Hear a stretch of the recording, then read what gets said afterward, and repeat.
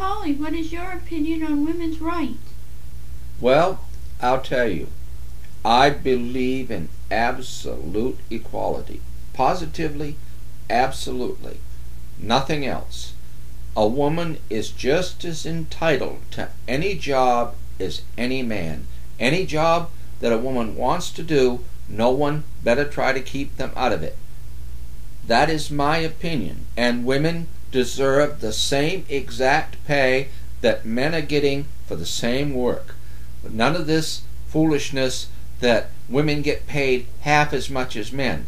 If the United States is putting out its jobs to other countries and the women are being paid less than the men, those companies will be fined and those companies will be regulated and those women will start being paid the same wages that the men are being paid. I will not tolerate unfairness to women. I believe in total equality and I will always believe in total equality. I know a lot of men don't like this. They want to feel superior. But I do not have to feel superior. I can accept a woman's equality. I can accept a woman beside me that is my equal.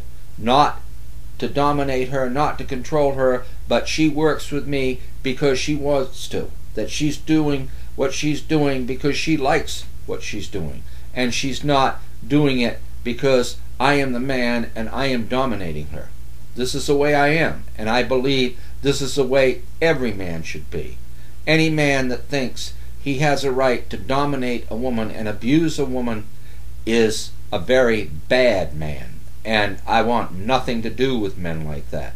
So if any man comes to me and says, "Oh, you can't support shelters for battered women because uh, a husband has a right to beat his wife if he wants to," I'll kick that man out the door without any question. That's the way I am, and that's the way people better understand I am. I believe in total equality for women, and I will never accept anything else.